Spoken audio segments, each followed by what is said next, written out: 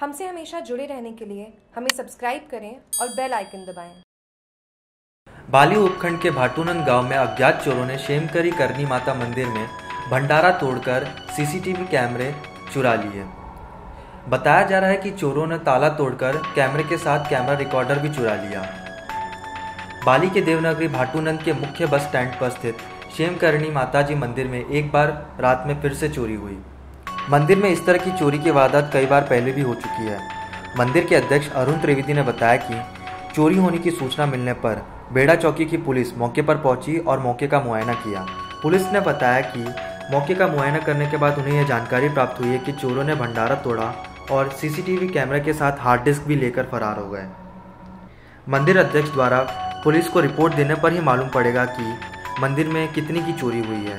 बाटून गाँव के अंदर सीम गिरनी माता के मंदिर के अंदर हर साल की तरह इस साल भी इस बारिश के मौसम में चोरी हुई जिसमें भंडारा तोड़ा और सीसी कैमरा और उसका रिकॉर्डर लेके चोर गए।